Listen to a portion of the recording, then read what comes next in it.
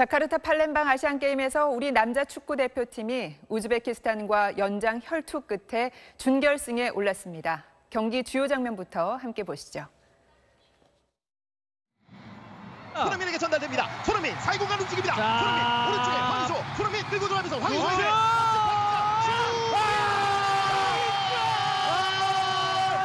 황희조의 선제골입니다. 헤딩겨서 어, 돌아서는데요. 위험합니다. 어, 위험해요. 아, 득점골을 내 주고 말았습니다. 황인범 그리고 황희조에게. 황희조가 슛! 황희조의 다시 한번 리드를 잡는 골. 넘겨주는데요. 어디? 어, 위험합니다. 위험합니다. 알리바이프. 아, 내주고 말았습니다. 돌아서는데 알리바이프인데요. 네, 완- 어, 들어갔어요. 오랫동안 호흡을 맞춰왔고. 저 이거, 이거, 아. 아, 됐어, 됐어. 손흥민, 완전한 기회. 황희조, 황희조, 황희조.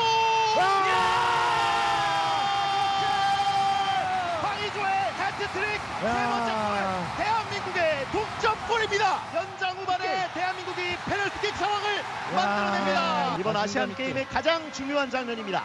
황희찬의 페널티킥 그대로 슛! 야!